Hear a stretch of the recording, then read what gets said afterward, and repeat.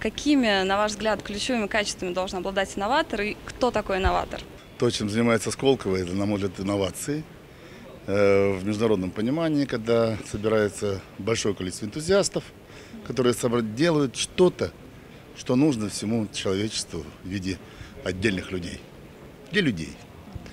А инновации, которые возникают в крупных корпорациях военного назначения или там энергетического назначения, они делают, в принципе, глобальные инновации, которые сложно даже назвать инновацией, это инвестиции в большие крупные проекты по формированию новых технологий.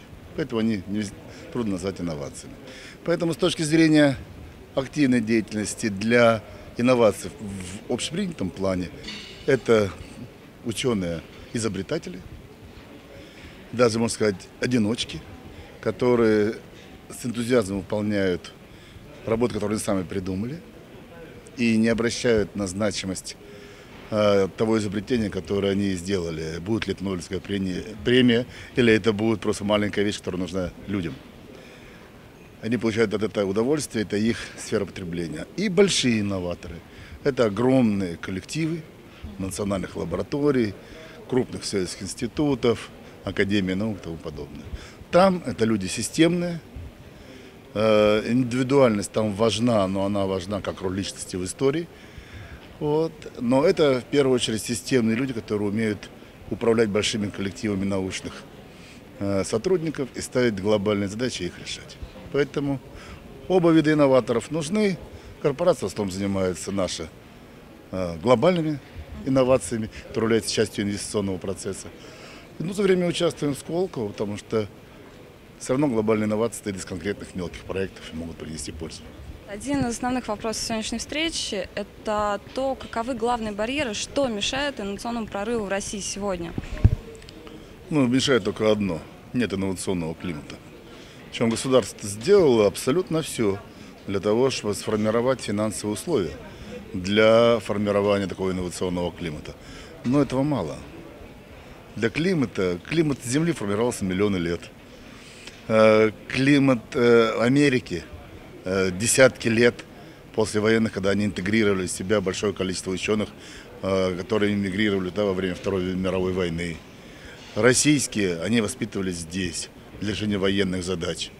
Поэтому важен не объем финансирования. И институты развития тоже хорошо. Но пока они занимаются чисто финансовыми инструментами. В связи А с... нужно делать не только финансовые. Развивать систему мотивации, понимать, поощрять людей. И самое главное, ученый должен стать э, значимой м, фигурой в обществе. Как это сделать? Ну, в свое время в Советском Союзе это удалось сделать. В Европе это удалось сделать. И сейчас там, хотя упал рейтинг ученых по сравнению с глобальными финансистами, но еще остался на уровне. Америки так же самое. Активно развивается, конечно, рейтинг э, науки и технологий в странах развивающихся, типа Бразилии Китая.